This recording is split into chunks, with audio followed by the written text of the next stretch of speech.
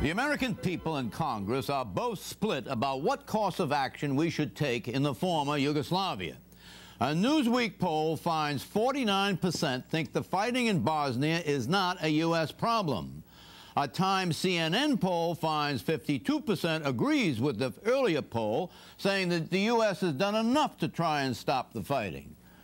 What are America's vital interests in Bosnia anyway? Is this a moral question? Do we have a moral obligation to stop the bloodshed, our self-interest aside?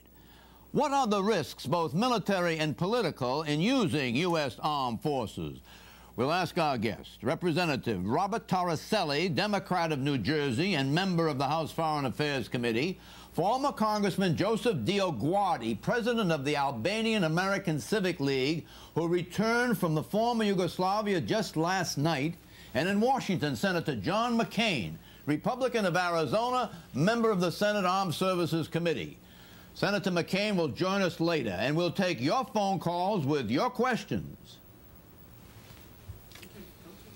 Question for you, Robert Torricelli. Are you optimistic about this peace plan? No, I'm not, uh, John. It'd be my uh, guess that the uh, Serbian ambition is not going to uh, be thwarted by this peace plan. I, I, suspect they're looking for time, and at some point the fighting will start again.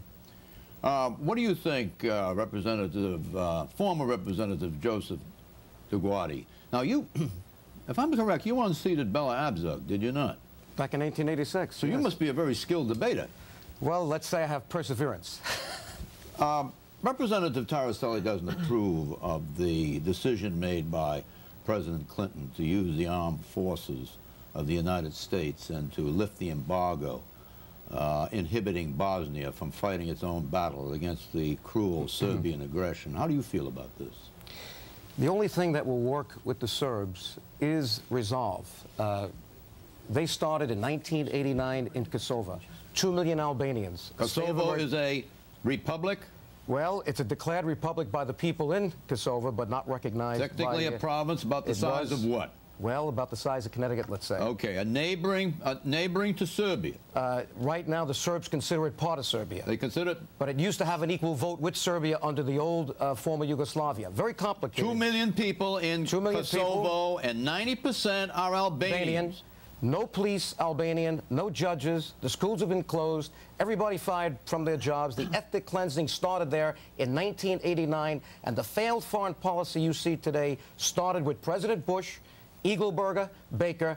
Baker had the nerve to certify that the Serbs were in compliance with human rights, uh, uh, human rights conventions, and allowed the uh, bill that was going to deny aid to Yugoslavia, the Nickles-D'Amato Amendment, to fail. Right. This is what set the stage right, for what's going on in Bosnia. Let's tie this back to a uh, to the to what's going on in Bosnia and in uh, Serbia.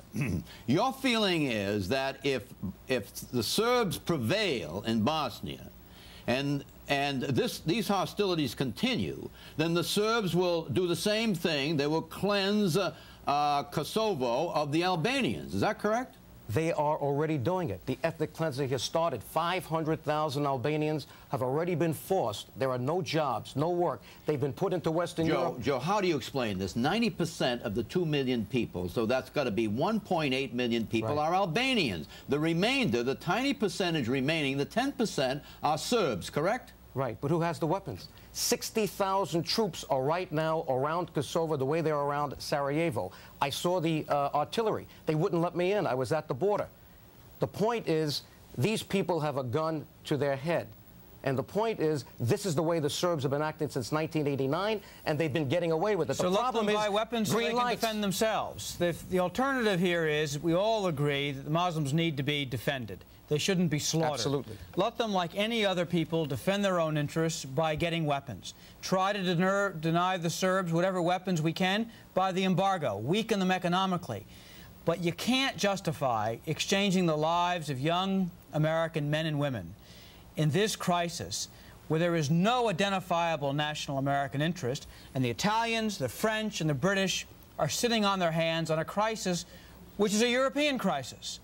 Every problem in the world does not have an American solution where we should exchange American blood for it. Embargo them, Sell weapons, arm the opposition, but not the exchange So of you favor lives. lifting the embargo? I would. What I don't favor, John, is airstrikes. You don't favor 25,000, an estimated 25,000 peacekeepers serving on the ground and in the air and uh, in the United States Navy over there, correct? I think we're setting ourselves up for a debacle and a terrible slaughter By the way, the, loss 20 American the 25,000 is an estimate. It's, a, it's, it's estimated to be approximately one third of the 65 to 75,000 NATO-led forces.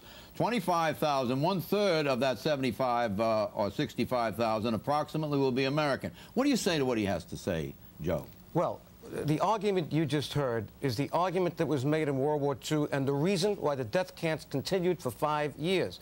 Because people said, well, we don't know that we have an interest over there. And Hitler got all kinds of green lights, starting with the Sudetenland and Czechoslovakia and Poland. The Serbs have been getting these same green lights with these right, siren calls why don't you, since 1989. Why don't you roll out the scenario? Let's suppose that the Serbs get their way and they prevail in Bosnia. And then they then they move into uh, uh, Kosovo and systematically, more systematically that, th- than they are now, with real intensity and a sense of mission, they they ethnically cleanse Koso- uh, Kosovo. What happens next? Well, if that happens, you've heard that the line has been drawn in the sand, not only by our President Bush, who didn't survive to fulfill his promises. Uh, Clinton thought he was going to do a better job. He didn't.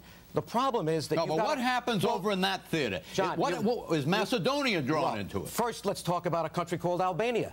Albania now is a sovereign democratic state. It has now gotten rid of communism after 50 years. I was just there with the Pope. They invested the first archbishop in 50 years. The point is, Albania, President Berisha told me personally that if there's any overt ethnic cleansing, as poor as Albania is, as, as small as it is, it is committed to act, and if it does, it is, deci- it is signed a defense pact with Turkey. Turkey comes in, what do you think is going to happen? Now, there's Greece your will come answer. in. It is in the vital national interest of the United States to prevent a third world war. What do you say to that? John, I think comparing the Rump Republic of Yugoslavia to Nazi Germany is more well, than a little Well, if you little pull in absurd. Turkey and Greece, Yeah, but Turkey is not going to. I've been there too and met with their leadership. Turkey has made a judgment. It would not unilaterally, and they've promised the United States unilaterally they will not become what do you say to that, Joe? I say it's wrong. I spoke to President Ozal several times before he died. I went to Houston when he was in a hospital, and he said point blank, we should be there already with NATO. Well, we don't want to act unilaterally." That may unilaterally. be his feelings, but but he's let- made a let him- commitment that he won't do it. But if,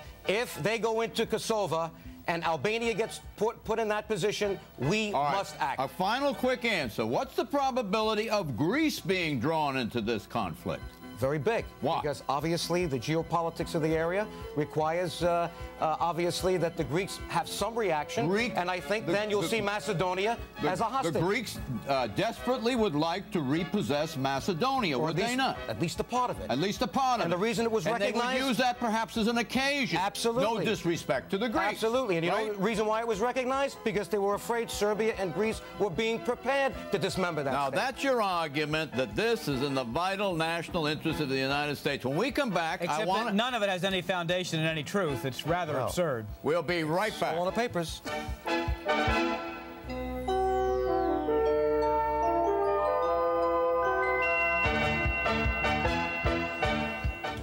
Uh, Senator McCain, uh, NBC News, that Sterling News uh, network, uh, The best. has learned that U.S. Special Forces are on the ground in Bosnia, gathering intelligence probably and probably selecting targets.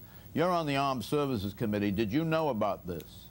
I, I did not, John, and this is another point that uh, I'd like to hear Bob's comments on, is that I think the President, before he goes any further, has got to consult with the Congress and the American people. I suggest that he go on nationwide television and tell the American people what's going on, what our options are, and what uh, course of action he has chosen. I think that I think that is in the offing. If uh, if if this uh, Parliament does not ratify on Wednesday, I think that's the plan. Isn't that I what you so. understand? I do, John. But I think to, to follow uh, Senator's point, whether or not any of us individually thinks this is the right thing to do militarily or not, one thing I hope we understand, this country cannot become engaged militarily if it is divided. It is at best divided on the idea of military intervention in Bosnia. And that's the best argument I know for not doing it. It's divided. This country cannot go into conflict divided. Your, your point is uh, well taken, and it's divided unequally. The majority of the people, the clear majority, I say the consensus, there are other polls that bring the figure higher than 52%. Is not to do it. But they may be uninformed, And, John, and the that- more information they there are is. Maybe, Questioning. but the case, the case not only, as, as the senator has just suggested, hasn't been made to the Congress, more importantly, the American people. You go out there and look some mother and father in the eye and tell them if they're convinced that they should exchange their son and daughter for what's going on in the heart of Europe while Europeans sit idle. I doubt many people are going to think their child's life is worth Let's, it. let's get John, Martin Luther King said it well. If there is injustice anywhere, then justice is threatened everywhere. We must look at this where innocent civilian life is being massacred, where the carnage is on a scale that you see right before you on the TV set. Martin Luther King You see, this as, you, see, you, see intervention. this as a, you see this as a moral imperative or a, strat- or a strategic Well- self-interest imperative? Well, maybe both, but certainly, you know, we have not built a wall around America when it, com- when it, when it, when it comes to universal human rights. E- Every, every the- life is precious, precious beyond description. Every single life. 135,000 people have been killed or they are missing in uh, Yugoslavia. That would include, include Croats and Bosnians and Serbs and maybe others, okay? Now, that is, that is of considerable scale. Would you not agree? It is a scale. But what it is, is it's less than the people who are now being killed in Peru, in the Punjab, in Cambodia. Is there a consensus here that would each of you like to intervene there too and shed American difference. blood? There's a What is the difference. What's the difference? We have armed Yugoslavia to the teeth for 50 years. And We? the people, yes, the United States and Russia for 50 years, That would they be a- played the broker. that's a And- shock to me that Let me hear his point. Absolutely. Uh, Yugoslavia has played the broker between the East and the West for 50 years. They have all the weapons they need. Did you hear the story about the Greek ship off Somalia trying to sell Serbian weapons for cash to overcome the embargo? I it's imagine, a fact. I imagine Senator The- the McCain point would share my shock that we've Well, been arming Yugoslavia while they, were have allied been- with the Russians Well, for 50 let me years. say this. They've played the broker very well, and they have been masters of deceit, and they have gotten away with it. Milosevic has built his political base on nationalism, and he's You continuing mean, to feed it. to the extent that we have armed Serbia, particularly, we are responsible for these deaths? Is that what well, you're saying? at the least, we're responsible to see that people defend themselves. John, this Well, what let these me, people let me hear John, Mc, John. McCain. Do you want to address that point before I, I- go to Barbara? Uh, Yes, very quickly. The United States has shown uh, that we try to fulfill our obligations uh, from a moral standpoint. We just did that in Somalia. The, the question that plagues the American people and, frankly, our military leaders as well as our civilian leaders is what can we do effectively? We're willing to go in with troops into Somalia because we could affect the region. We'll be willing to go into other places where we can beneficially affect it. But I keep sounding, I'm sorry to keep sounding like a broken record, but the fact is we don't have the viable military option that may make things worse than they were before if we go in in some kind of incremental, uh, ill-planned, ill-conceived, and ill-executed you, are you basing that on newspaper reading, uh, Senator, or are you basing it on any knowledge, any intelligence that you have from the Pentagon, that the Pentagon is distressed because the Pentagon feels, A, John, that the goal, A, A, that the goals are obscure, A, B, the military targets are obscure? Are you saying that? John, the, the chairman of the Joint Chiefs of Staff, the members of the Joint Chiefs of Staff, the head of NATO have testified publicly in open session before the Senate Armed Services Committee exactly that. And for six months, secret. for six Yeah, months, there isn't exactly. a member of the Joint Chiefs of Staff, or until last week, a senior military officer in this country or in NATO who believes, has argued that airstrikes are going to have an effective military Well, why impact. is it then that the national security chief of Clinton, Mr. Tony Lake, now agrees we must take action? Why is He's, it that agree- the he's ambassador... agreed it for several months. Right. Why is it the ambassador to the United Nations, Margaret Albright, has said the same thing? And our former colleague, my former colleague, Les Aspin, the Secretary Most of them, Defense, now one thing in says we must do it. And- What did you say, John? What did you say? They have one thing in common. None They've of them never wear a uniforms. shot I wanna hear John. anger. What? They've got one thing in common. They've never heard a shot fired in anger. Uh, our time has expired. I want to thank the members of the panel, the distinguished Representative Robert Torricelli, uh, who serves in other foreign policy issues uh, frequently here. Also, I'd like to thank Senator John McCain, and I'd like to thank uh, former Representative Joseph DioGuardi. Thank you, ladies and gentlemen.